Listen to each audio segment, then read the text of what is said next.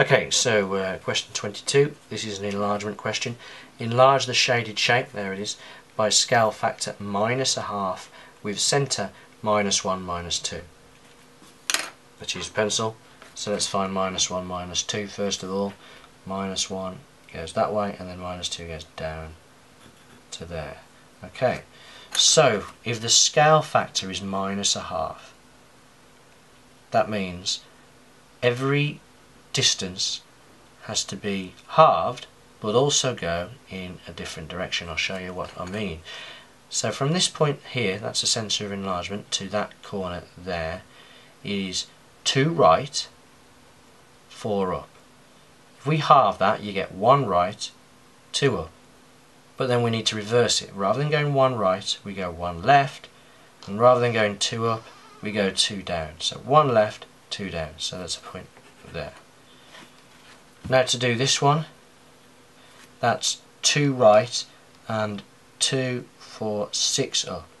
So that means we're going to go 1 left and 3 down. So 1 left and 1, 2, 3 down. Now to that point there, it is 6 right, 4 up, so we're going to go 3 left, half of 6, and 2 down. So remember it's 6 right, 4 up, so it's 3 left, 2 down. 1, 2, 3, 1, 2.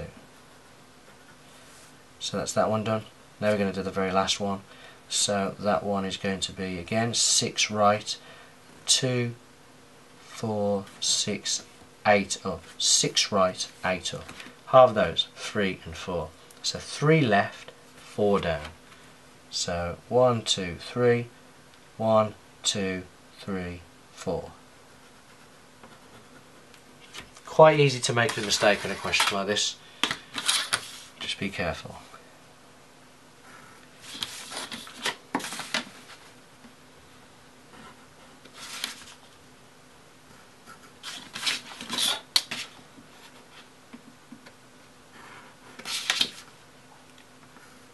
Try and make sure it's on the line. Okay, and there is our enlargement by a scale factor minus a half. I know it's smaller, but technically it's still an enlargement.